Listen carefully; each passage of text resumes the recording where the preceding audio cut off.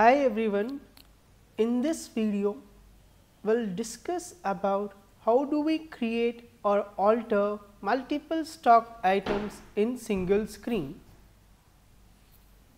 In this video I will guide you the steps the first how do we create a multiple stock items in Tally Prime.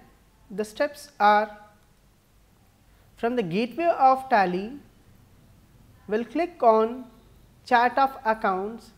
The next step is we need to click on stock items and under stock items we have an option multi master.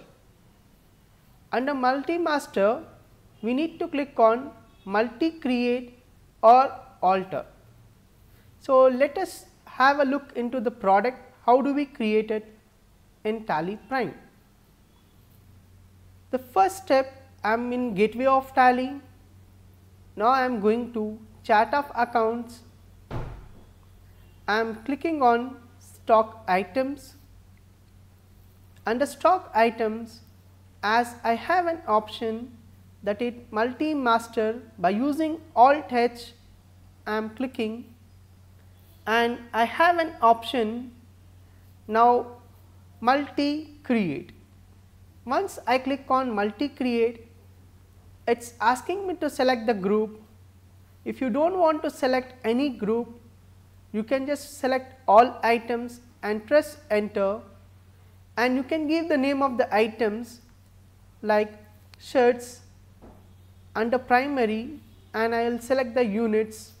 If you want to provide any opening quantity balance also you can provide or else you can just press enter and you can provide the name of other item and the same as like we have set for the first item the same you can do for the multiple items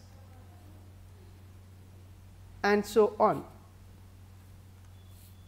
So, as you can see now my multiple stock items has been already created in my stock item.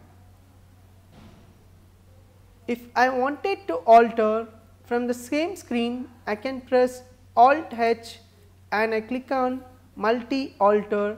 So, you can click on all items and you can try to alter any of the item. From the same screen you can just press accept so that the multi alteration screen can be saved.